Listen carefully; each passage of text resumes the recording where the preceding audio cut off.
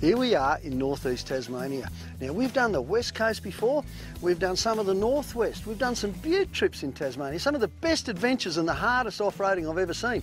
But we're back to have a look at something a little bit different. That's Scottsdale down there, and all around Scottsdale, within Cooey of Scottsdale, you could say Scottsdale's the hub, really, of some of the best four-wheel driving tracks I've ever seen.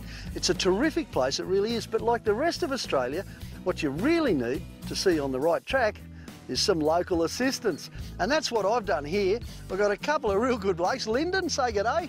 G'day, I'm Lyndon. Everybody calls me Trout. We'll find out why later on, probably because he's got a swim for his Nissan.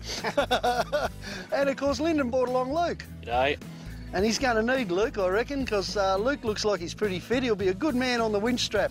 Now that's the, yeah, righto, that's the other thing we got going here, okay? We got a bright red Nissan Patrol versus a dirty old green Land Cruiser. now the next thing we've got going here, of course, is pretty obvious, is that um, let's say the energy and the enthusiasm of youth versus the treachery and cunning of old age. Someone around here's old, it might be me. But that, that'll work just fine. You're not going to need a walking phone to get over to your truck and hop in. Oh, good on you, mate. Good on you. I hope you've got a big bag of nappies in there because I reckon you're going to need them before the day's out. We're going to see some terrific country. Come along and have a look. Come on, guys, let's go. Going to say I'll race you down to the bottom of the hill, but I'll probably have to take it easy and pick up a few of the bits on the way down, eh?